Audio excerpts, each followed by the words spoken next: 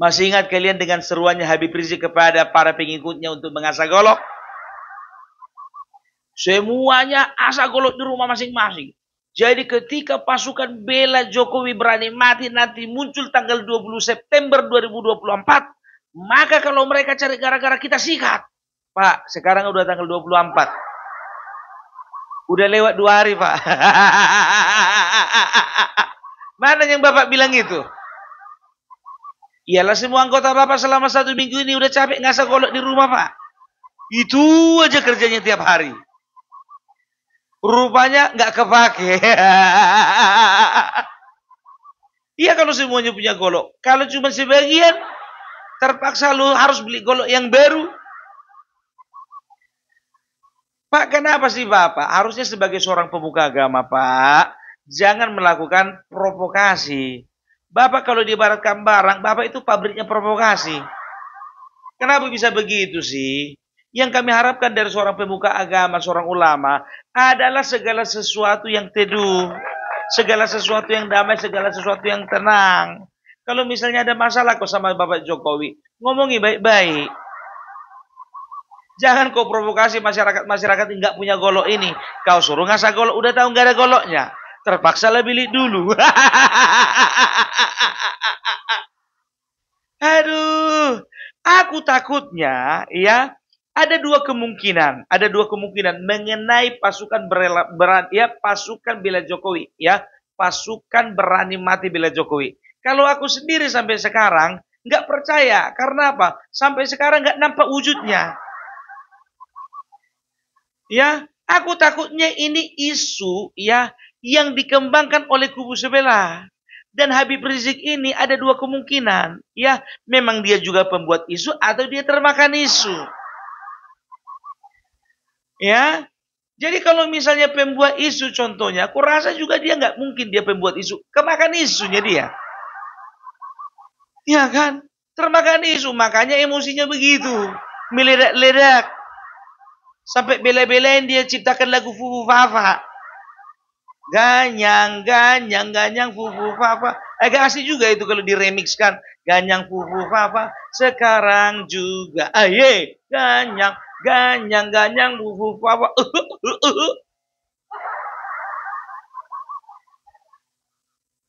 Aduh, ganyang fufu papa sekarang juga fufu papa. Anak mantan apa haram demokrasi. Entah apa dibilangnya itu. Aku pun juga malas menghafal-hafalnya itu.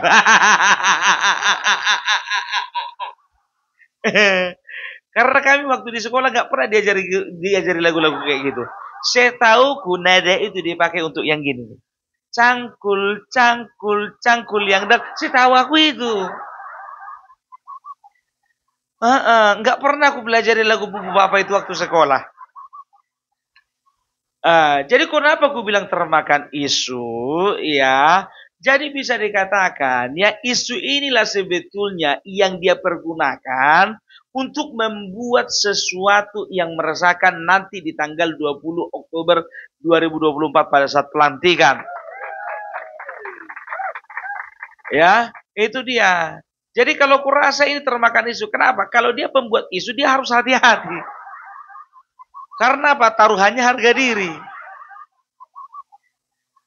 Ya kan? Karena apa? Kalau sempat dibilangnya, kalau misalnya dia pembuat isu, berarti memang terjadi. Kalau dia termakan isu, dia berarti itu dia lupa mikir. Ya, Mas Sempak nggak jadi dimalukin lawak kan begitu. Tapi emang dasar nggak tahu malu, cemana mau dibilang? Nah inilah udah tanggal udah tanggal 24 sekarang. Eh, mananya aksi di Patung Kuda itu? Di Jalan Merdeka Baru itu? Sunyi senyap. aduh, aduh. Ya, Aku takutnya pasukan orang ini udah ngintip-ngintip kian. Bos, ini gimana ini? Gak ada orangnya nampak. Ah, masa gak ada bagus-bagus kau? Iya bos, gak ada. Polisi pun gak ada sini kata. Gak ada polisi jaga-jaga situ. Mana ada bos? Ah, udah kena kerjaan kita ini bos. Kena kerjai. Eh? Ah, lapet lah itu.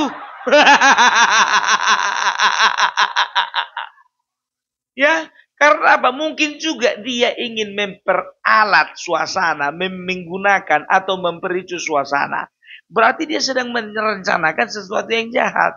Ya ketika ada memang betul-betul misalnya nih, ketika memang betul-betul ada pasukan berani mati bila Jokowi itu, berarti dia berencana untuk menyusupkan beberapa orang dan untuk cari gara-gara bikinlah kerusuhan supaya apa? Supaya terjadi bentrok antara mereka.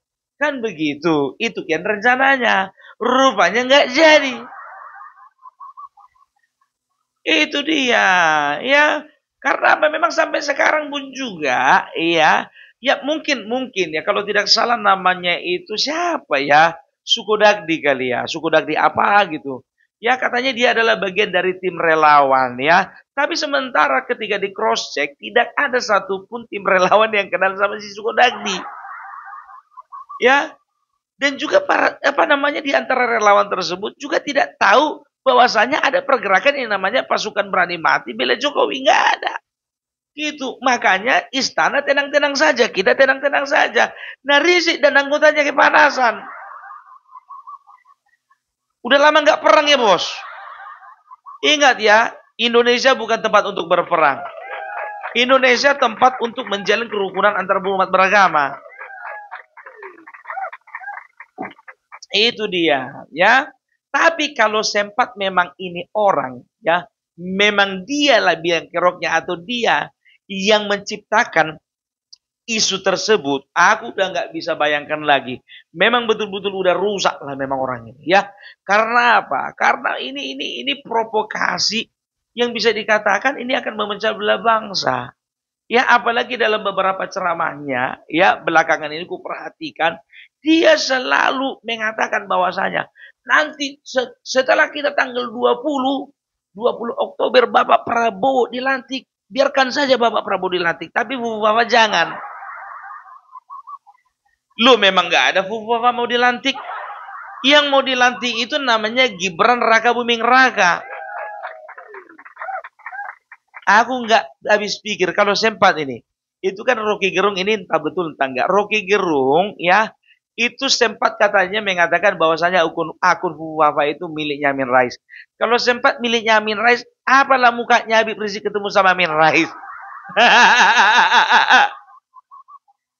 Iya kan? Nah, itu yang itu yang kita kita apa namanya yang kita uh, apa yang kita dapat dari media sosial. Aku pun juga kurang tahu memang betulnya itu statement langsung dari uh, apa namanya Rocky Gerung dan itu bisa di cross check atau dipastikan Ya, aku pun juga sampai sekarang juga masih sanksi sih. Sedangkan sama si Gibran aja aku sanksi kalau dia yang bikin, apalagi Amin Rais. Kan begitu. Mungkin orangnya, orangnya. Tapi ini kan kita kan juga eh, selalu apa namanya selalu mengedepankan praduga tak bersalah gitu dong. Ya, siapa saja bisa mungkin ya. Itu dia. Baru dia katakan apa dalam setiap ceramahnya maka Joko Widodo Mulyono ya. Maka kita akan rame-rame membawa dia ke pengadilan. Siapa kau? Aparat negara bukan. Polisi bukan. Jaksa apa lagi? Apa hakmu menyeret-nyeret Jokowi ke persidangan eh? Ke penjara? Enggak enggak aja. Kadang-kadang orang ini ngomongnya ngaur tapi kelewatan Ngaur itu biasa-biasa aja level 1, level 2. Jangan loncat ke level 7. Mau memenjarakan sama kayak si Anies, mau memborgol.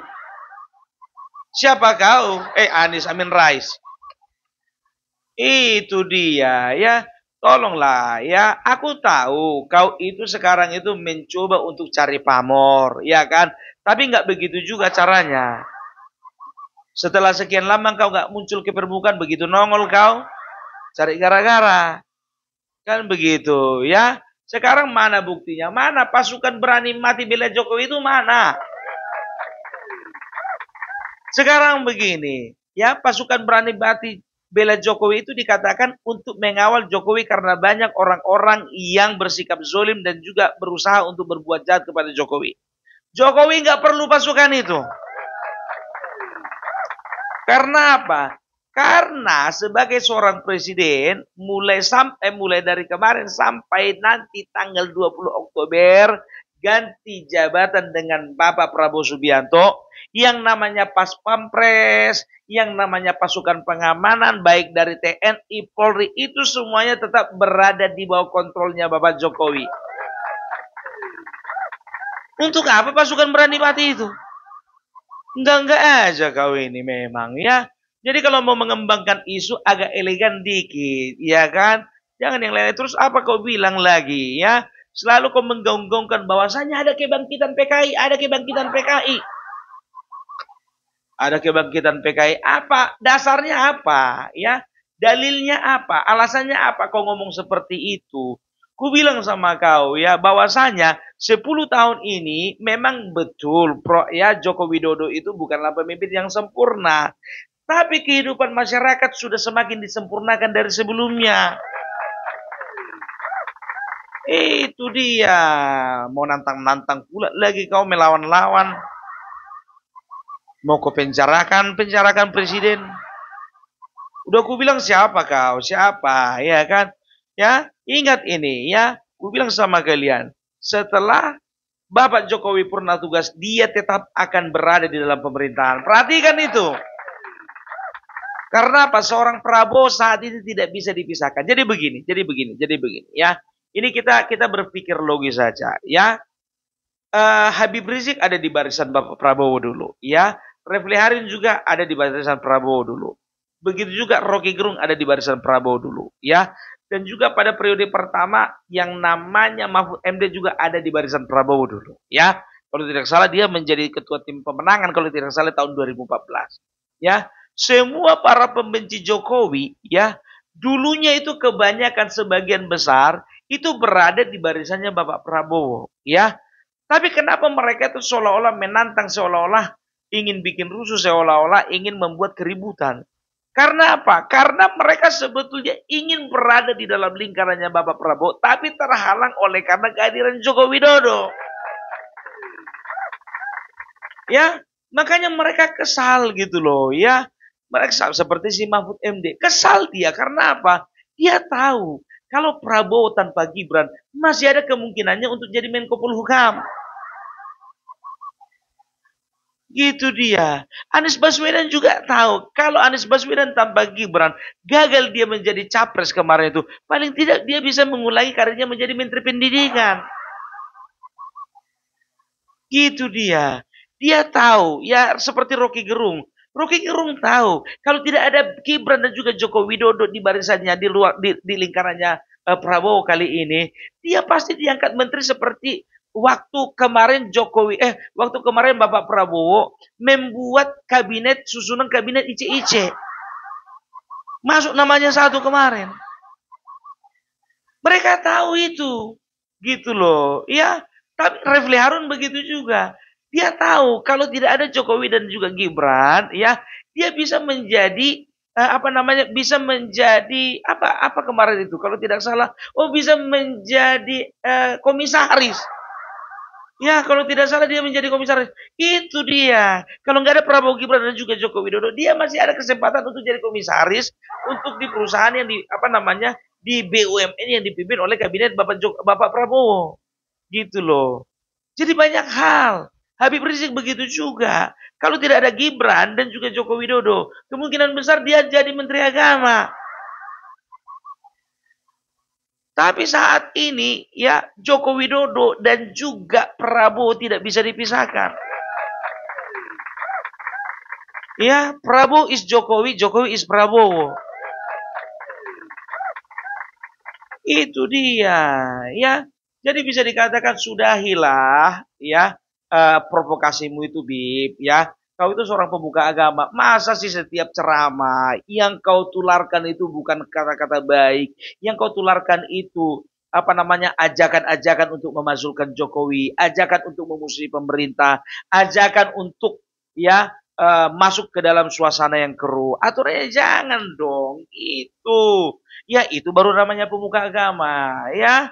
Itu, kau rasa kau lebih tahu lah bagaimana mencerminkan sesuatu yang baik kepada orang lain daripada aku, ya kan? Eh, dapat Habib. Itu ya. Dan itu juga sampai sekarang ya. Perbaiki dulu hubunganmu sama Romai Rama. Dulu sempat kalian satu apa namanya satu kandang. Mesra kali kalian dulu. Sekarang kok kenapa kayak gitu ribut? Itu dia ya. Jadi kalau kukatakan sih sebetulnya ini orang ya kepingin ya satu aja intinya. Dia ingin eksistensinya kembali diketahui oleh masyarakat. Itu aja. Uh, uh, dia kepingin menunjukkan kemampuannya padahal kemampuannya udah nggak seperti dulu. Dia ingin menunjukkan kepada masyarakat Indonesia dia punya masa padahal masanya tidak tidak sebesar masanya yang dulu.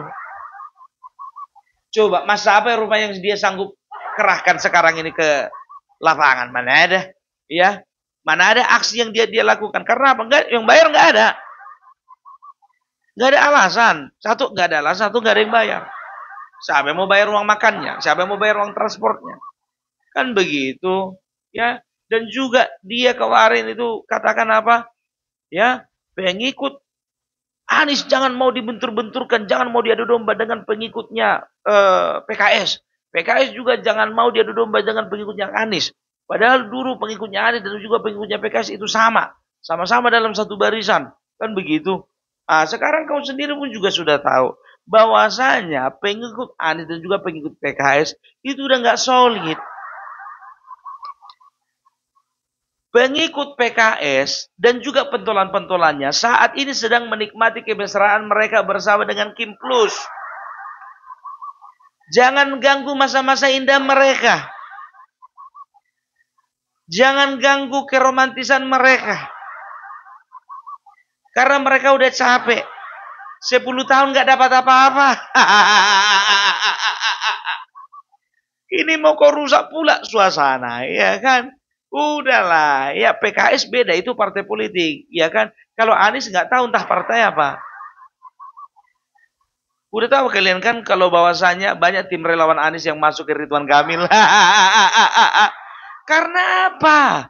Karena di dalam lingkarannya Ridwan Kamil sudah ada Suswono yang merepresentasi kehadiran PKS. Jadi bukan lagi diadu domba, bukan. Ya PKS dan juga para pengikutnya sedang menikmati kemesraan dan sedang menikmati pergaulan yang baru, sedang menikmati ternyata indah berjalan bersama bersinergi bersama dengan anak bangsa lainnya. Itu dan anak abah kan enggak. Ya, mereka hanya mengedepankan sakit hati. Sama seperti kau. Ya, itu dia. Semua kalian itu yakin. Aku sebetulnya kalian kepengen kali dekat-dekat sama Prabowo. Betul. Ku jamin itu. Dari mana pun bilang tahu? Tahu. Karena apa? Karena tidak ada satupun kalian yang berani mengkritik Bapak Prabowo. Gak pernah kalian sedikit pun mengomentari hal-hal yang miring tentang Bapak Prabowo. Gak pernah. Karena apa? Kalian berpikir kalau sepak ku kritik nanti mana tahu ada kemungkinan aku untuk maju. Untuk apa namanya direkrut. Gak jadi. Ah lumayan lah. Gak usah aku kritik-kritik. Gak usah teriak-teriak aku. Mana tahu direkrut. Mana tahu ada penambahan kuota. Kan begitu itu pikirannya siapa? Mahfud MD kan? Eh Udahlah. Ya sekarang apa? Keluar-keluar kalian gunanya untuk apa? Cari perhatian. Kalian cuma cari perhatian. Ku bilang sama kalian ya. Jumlah kalian itu tidak seberapa.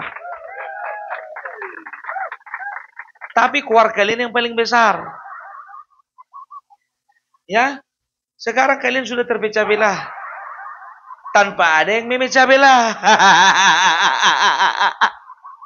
Bayangkan ada 42 bahkan diperkirakan ada 62 simpul relawan yang sebagian besar relawannya Anies dulu itu sudah masuk ke dalam relawan pemenangan Ridwan Kamil Suswono.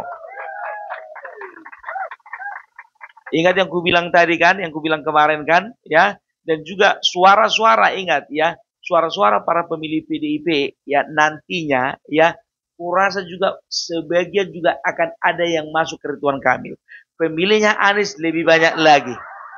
dan juga pemilihnya Ahok ku bilang sama kalian sebagian juga pasti akan masuk ke dalam Ridwan Kamil Suswono. Karena mereka mencoba mencari sosok yang lebih mendekati pimpinan mereka. Yang lebih rajinnya mendekati Ahok, jujurnya mendekati Ahok, ya kredibilitasnya mendekati Ahok. Itulah para Ahok yang Ahok, Ahok inginkan. Lepotan aku ngomong jadinya. Itu dia. Jadi udahlah no debat ya. Jadi ya tolong uh, Habib Rizik untuk Bapak Habib Rizik yang terhormat menurut para pengikutnya ya sudahilah ya ceramah-ceramah atau orasi-orasi ya yang belum tentu kebenarannya belum bisa dipastikan kebenarannya tolong sudahi semuanya itu ya jadi masyarakat kemarin itu juga itu nggak sebagian juga si ide samamu apalagi sekarang ya kan? Orang itu udah ngasah golok tadinya nggak punya golok beli golok. Akhirnya udah hilang kepercayaan samamu. Eh mananya si Habib ini? Katanya beli apa ngasah golok. Rupanya ditunggu-tunggu langsung nggak ada. Ya paling nanti dia akan keluar akan akan apa namanya akan muncul ke media. Apa katakan ya? Mereka takut kepada kita. Karena mereka tahu ya ada tantangan besar dari kita maka mereka takut mengeluarkan diri. Paling itu lagi kita aja lagi entah begitu eh, statementnya atau enggak. Oke? Oke lah dulu ya. Seperti itu ya. Salam para belak salam jangan pernah percaya dengan yang namanya pasukan berani mati bela Jokowi.